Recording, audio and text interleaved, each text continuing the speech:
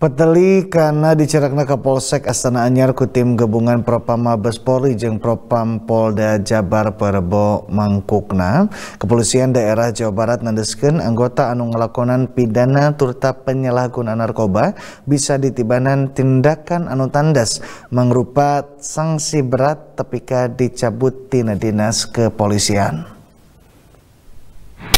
Kepolisian daerah Jawa Barat kiwari keur memejeh na neuleman leuwih gemet patali kana pasoalan dicerekna Kompolsek Astana Anyar Kompol Yuni Purwanti jeung 11 anggota Polsek Astana Anyar dina penyalahgunaan narkoba ku tim gabungan Propam Mabes Polri jeung Propam Polda Jabar. Patali kena sanksi Kabid Humas Polda Jabar Kombes Pol RD Adari Mulan Caniago nandesgen Kapolda Jabar geus arahan patali kana dicerekna Kapolsek Astana Anyar anu teu pamohalan bisa dicabut kalungguhanana patali kana anggota anu kabaud kana penyalahgunaan narkotika.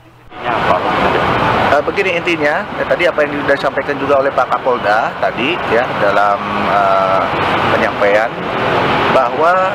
apa pun alasannya anggota yang melanggar tindak pidana uh, khususnya narkoba itu akan ditindak tegas.